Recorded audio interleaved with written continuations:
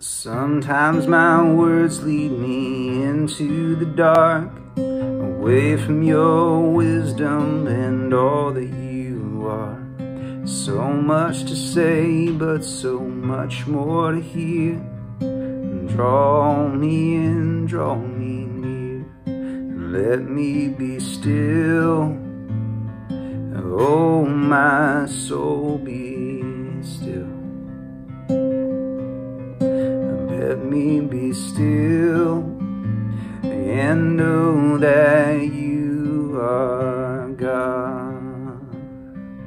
I know what I need, but distractions persuade. I'm quickly consumed as your voice fades away. You are the one I am longing to know. And draw me in, draw me close.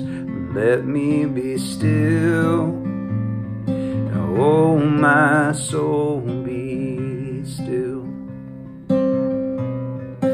Let me be still and know that you are God. Let me be still.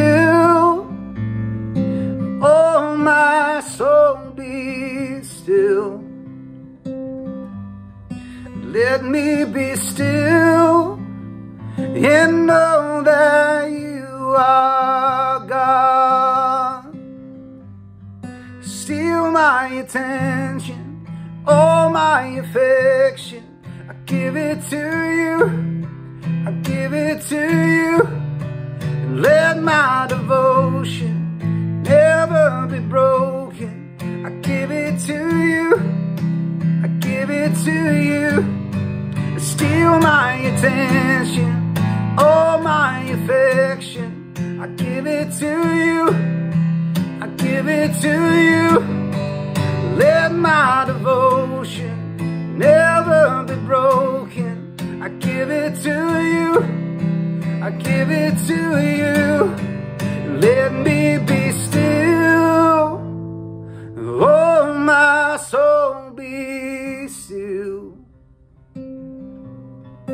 Let me be still and know that you are God. Hey there, LCBC. My name is Dan, and Jordan just sang a great song for us. We're both from the Ephrata campus.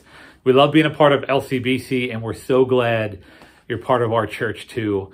Uh, man, my family, we're getting ready to go on vacation pretty soon. It's a great time of year to start of summer.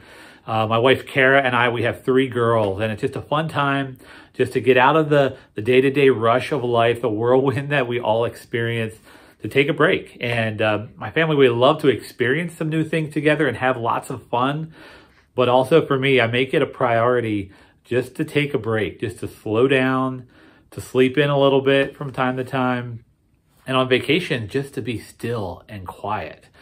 And uh, no matter if you have vacation time to do that or you just work that into your daily schedule, uh, that aligns with what God tells us to, to do to stay healthy and to stay connected with Him. Throughout the Bible, the, the phrase be still is there or be quiet.